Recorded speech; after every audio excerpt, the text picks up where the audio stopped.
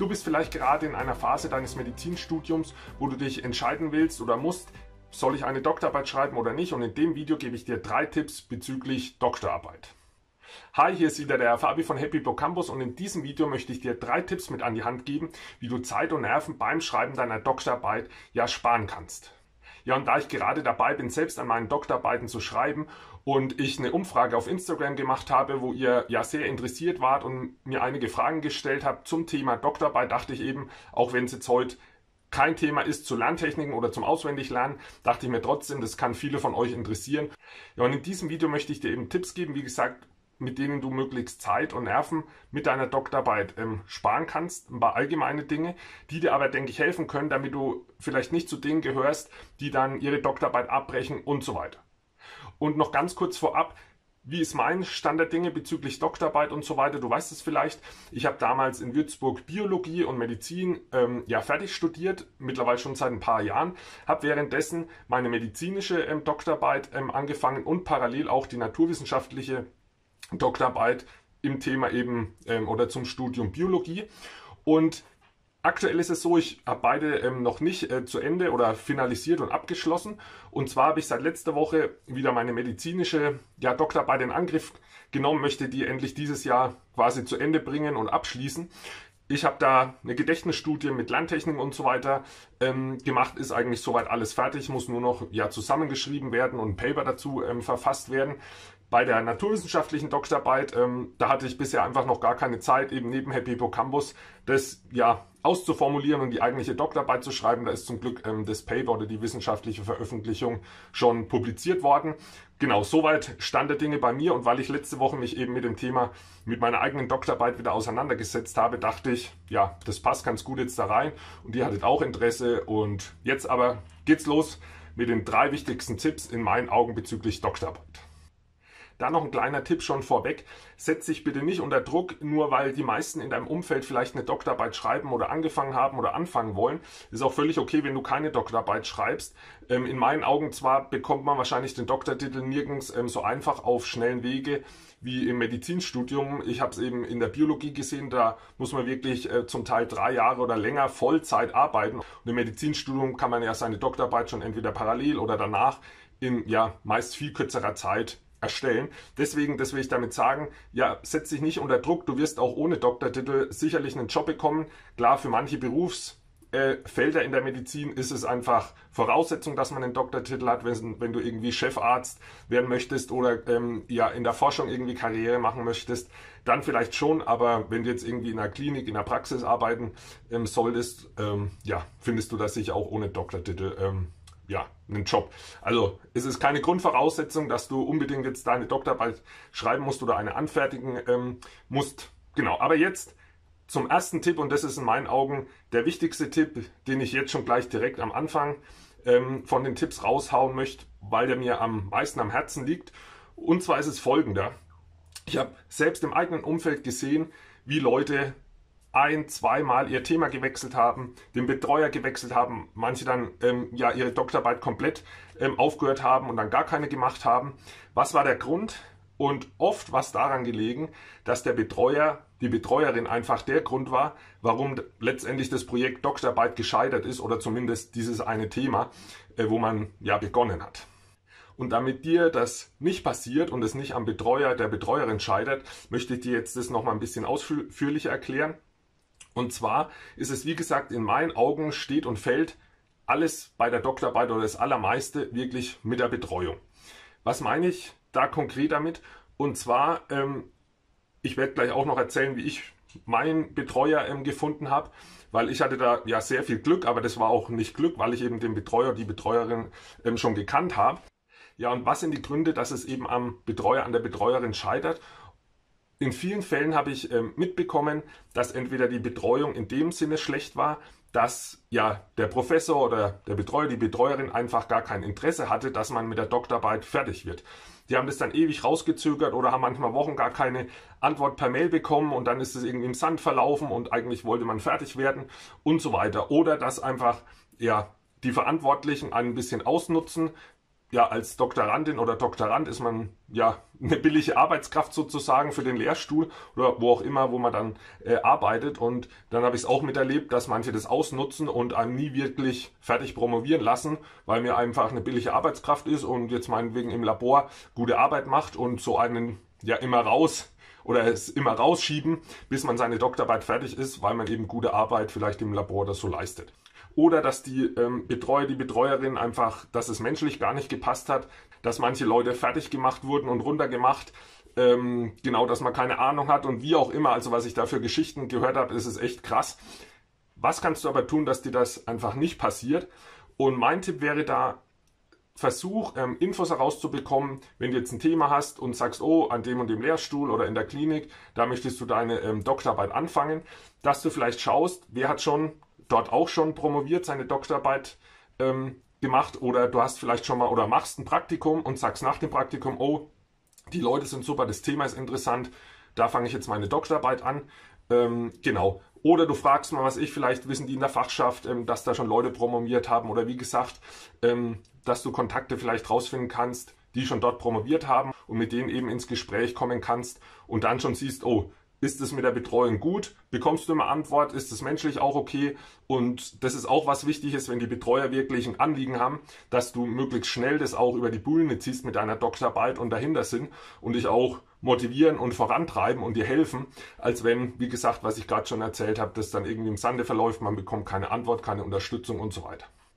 Also versuch wirklich möglichst viele Infos vielleicht über die Arbeitsgruppe, über die Person, die dich dann direkt betreut, herauszubekommen, vielleicht aber auch über den Chef, über den Professor, Professorin, die noch dahinter steht, die das letzte Wort hat, weil wenn die dann deine Doktorarbeit nicht absegnet oder sagt, du kannst jetzt, äh, bist soweit fertig und kannst deine Arbeit einreichen und so weiter, ähm, also auch da nicht nur deinen direkten Betreuer schauen, wie der vielleicht so drauf ist, sondern auch nochmal in eine Instanz höher, wenn es nicht jeder eigentliche Chef ist, der Prof, die Professorin zum Beispiel, dass man auch da möglichst schaut, wie ist das Umfeld, wer ist wirklich verantwortlich ähm, dann für dich und schaust, ob das dann passt und ähm, ja Sinn machen kann. Und deswegen ist auch in meinen Augen zwar das Thema, was mit dem du dich in der eigentlichen Doktorarbeit beschäftigst, zwar schon relevant, aber ich finde noch mal wichtiger, was da drüber steht, ist eben die Betreuung. Und klar, das Thema sollte irgendwie spannend, interessant sein, aber ich glaube, es bringt und hilft dir nichts, wenn du ein dein perfektes Lieblingsthema hast, die Betreuung aber dann vielleicht so schlecht ist, dass du dich ein, zwei Jahre quälst und dann irgendwie doch nie promovierst und irgendwie das Ganze abbrichst und vielleicht dann das Thema äh, wechselst, da kann das Thema noch so spannend sein.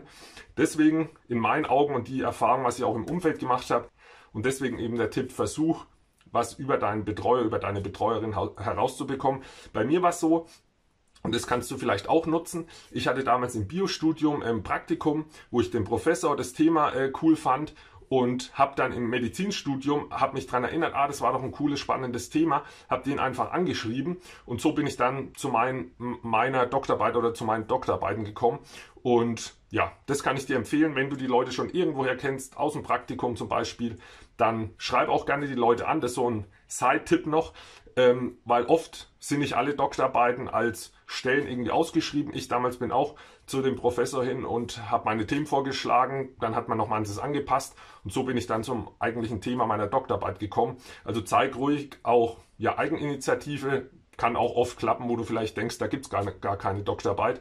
Und falls du Interesse hast und einen Professor findest, der sich auch für Lerntechniken interessiert, weil man braucht natürlich immer ähm, einen Bezug zur, zur Uni, kannst du auch zum Beispiel bei uns ähm, eine Doktorarbeit anfangen wenn du eben, wie gesagt, einen Betreuer, eine Betreuerin findest, die eben auch ähm, Uni-Bezug hat, ähm, dann wäre sowas auch prinzipiell denkbar. Okay, dann zum nächsten Tipp, Tipp Nummer zwei.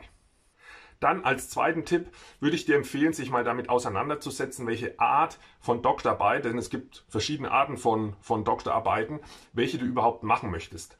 Das hängt immer auch ein bisschen davon ab, möchtest du zum Beispiel irgendwie in der Forschung ähm, Erfahrungen sammeln oder Laborerfahrung in der Klinik, irgendwelche Techniken kennenlernen und so weiter. Ein Aspekt finde ich es auch wichtig, sich zu überlegen, wann möchtest du die Doktorarbeit schreiben, während des Studiums, danach viele oder die meisten, die ich auch ähm, kennengelernt habe, die haben es meistens parallel zum Studium gemacht. Ich habe es damals, wie gesagt, auch parallel angefangen und versuche es jetzt eben zu finalisieren. Und es gibt nämlich Arten von Doktorarbeiten, die in meinen Augen viel schneller ähm, ja, anzufertigen sind als andere. Also welche Arten gibt es da überhaupt? Ja, eine Art von Doktorarbeiten ist eben die experimentelle Doktorarbeit, wo du eben im Labor stehst, Versuche durchführst, vielleicht mit Zellkulturen und so weiter arbeitest. Und da ist meine Erfahrung, ich habe damals ähm, ja meine Bachelorarbeit und Masterarbeit ähm, auch im Labor gemacht, habe mit Zellen gearbeitet und so weiter. Und da steckt man nie drinnen, wachsen die Zellen gut, geht mein Experiment gut, es gehen natürlich auch Versuche schief und so weiter. Und es hat, war relativ zeitintensiv. Deswegen in meinen Augen, wenn du wirklich möglichst schnell deinen Doktortitel haben möchtest, ist, glaube ich, ja, aus meiner eigenen Erfahrung heraus das Labor nicht die erste Wahl, um wirklich schnell irgendwie ja, seine Arbeit ähm, abschließen zu können. Gerade weil eben im Labor, gerade wenn du auch mit Zellen und so weiter arbeitest, nicht alles immer so läuft, wie du dir das ähm, ja vorstellst. Welche Alternativen gibt es dazu eben? Die statistische Doktorarbeit, wo du zum Beispiel dann irgendwelche Daten entweder hebst oder vielleicht schon vorgelegt bekommst und die du dann nur noch auswerten äh, musst. Oder eine theoretische Doktorarbeit, wo du eher so einen Summary oder Review erstellst, wo du quasi dich auf ein Thema oder in ein Thema einarbeitest und da zum Beispiel eine Veröffentlichung dazu schreibst, indem du irgendwie ein ja, Thema tiefgründiger recherchierst und so weiter, wo du jetzt nicht im Labor stehst.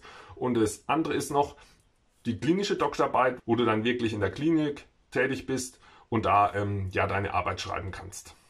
Und wie gesagt, das war eben der Tipp Nummer zwei, dass du dir überhaupt mal bewusst machst, und ich hoffe, da konnte ich jetzt einen Beitrag dazu leisten, dass es eben verschiedene Doktorarbeiten überhaupt gibt. Recherchiere gern oder google gern mal die einzelnen Arten. Da will ich jetzt, das würde den Rahmen sprengen, jetzt gar nicht genau auf jede Art von Doktorarbeit eingehen, aber nur, dass du schon mal gehört hast, dir ein Bild selbst noch drüber machen kannst und dann entscheiden kannst, okay, was will ich mit meiner Doktorarbeit erreichen? Will ich einfach nur den Doktortitel? Möchte ich in die Forschung und so weiter? Und danach dann entscheidest oder auch suchst, wo ist vielleicht meine passende Doktorarbeit und wen kann ich fragen ähm, oder mich bewerben äh, für eine Doktorandenstelle oder ähm, für eine Doktorarbeit, die mir wirklich oder zu meinen Präferenzen dann passt. Dann noch als dritter Tipp, lass dich nicht entmutigen, wenn nicht alles rund läuft, wenn vielleicht mal was nicht klappt und so weiter. Weil es ist oft so, und gerade wenn du äh, naturwissenschaftlich arbeitest oder im Labor, dass eben Versuche man ein, zwei, mehrmals machen muss, bis es endlich klappt und so weiter. Deswegen lass dich da nicht zu schnell entmutigen. Was da aber auch mit reinspielt und was ich auch ähm, gesehen habe bei Kommilitonen und Kommilitoninnen, dass sie sich, nur weil sie die Doktorarbeit zu dem Thema angefangen haben, gemeint haben, sie müssen das bis zum bitteren Ende durchziehen. Und manche haben sich dann ein, zwei Jahre gequält und haben am Ende dann doch das Handtuch geworfen und haben dann doch das Thema gewechselt oder es ganz mit der Doktorarbeit sein lassen, dass du dich in dem Prozess wenn du vielleicht schon angefangen hast mit der Doktorarbeit oder dann dabei bist, auch öfters mal reflektierst und hinterfragst und sagst, okay, ist das jetzt noch das, was ich machen möchte oder raubt es mir zu viel Zeit und Nerven? Ähm, genau. Was da auch ein bisschen mit reinspielt zum Thema Zeit, wie du das Ganze organisierst, dass du dir überlegst, möchtest du vielleicht ein, zwei Freisemester nehmen und wirklich dich nur auf die Doktorarbeit konzentrieren oder das einfach parallel nebenher laufen lassen, ähm, was auch, denke ich, sehr viele machen.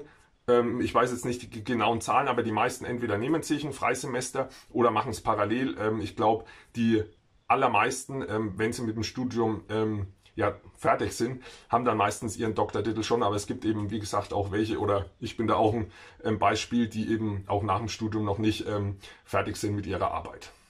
Genau, das waren jetzt so drei Tipps. Falls du dazu noch weitere Fragen hast oder zu den Themen, die ich jetzt nur kurz angerissen habe, schreib es gerne in die Kommentare. Dann kann ich gerne auch noch mal ein zweites Video dazu machen, wenn euch das ja interessiert, das Thema Doktorarbeit und so weiter.